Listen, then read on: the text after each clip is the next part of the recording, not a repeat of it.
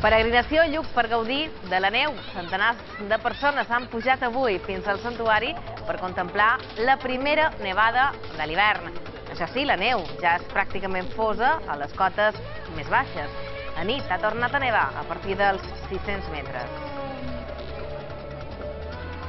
Bon dia. La carretera MA10, que uneix el coll de Sabatalla amb el mirador de ses barques, ha estat reoberta avui al trànsit després de dos dies tancada per la neu i les gelades.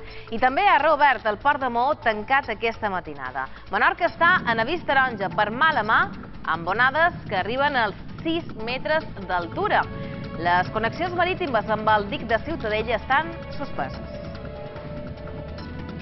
I quan falten 3 anys perquè acabi el termini donat per Brussel·les per incrementar el consum d'energies renovables, només 4 municipis de les illes compleixen l'objectiu. Petra, Artà, Santa Margalida i Porrera són els únics que ja generen més del 20% de l'energia que consumeixen a partir de renovables. El mandat de la Unió Europea estableix que el 2020 tots els estats membres ho hauran de fer. Les Balears, però, encara són molt en fora d'aquest objectiu. Ara per ara només el 2,36% del consum total prové de renovables.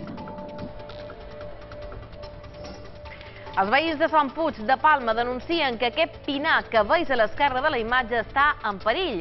El projecte d'electrificació hi preveu la construcció de dues torres d'alta tensió de 45 metres d'altura cadascuna. Avui una seixantena de veïns han acompanyat regidors de l'Ajuntament de Palma perquè ho vegin de primera mà.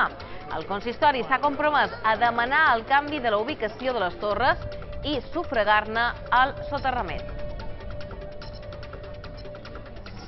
I aquestes són imatges de Cala Salada. La zona s'ha convertit en un abocador il·legal.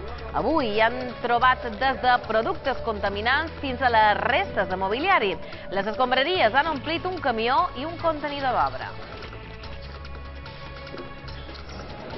Tres de cada deu alumnes de la Universitat de les Illes abandonen els estudis abans d'acabar-los. Segons la UIB, la meitat ho deixa perquè troba feina i l'altra meitat decideix canviar de carrera. Matemàtiques i les enginyeries són les titulacions amb major taxa d'abandonament. Mor un home atropellat davant l'Hospital de Sant Llàtzer. Segons fonts del centre hospitalari, l'home era atès al servei d'urgències quan va decidir fugir. La víctima de 34 anys i de nacionalitat espanyola caminava per la carretera de Manacor a l'altura de la fàbrica de Gama quan va ser embestit per un cotxe que no el va poder esquivar.